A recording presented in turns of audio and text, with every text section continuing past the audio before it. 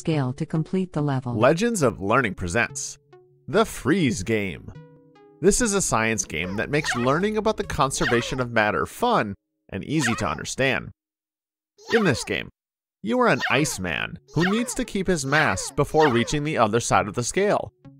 This game uses a countdown timer to show the urgency of having to progress to the next stage before the ice melts.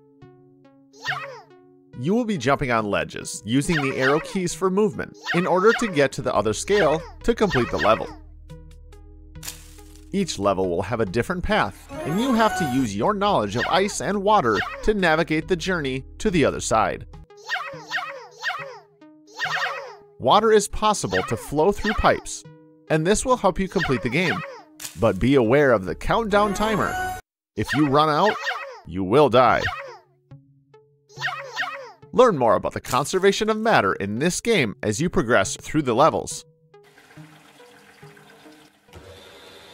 Are you ready to accept the challenge? Do you have the right skills to help you complete the game? Have fun and enjoy playing. Game over.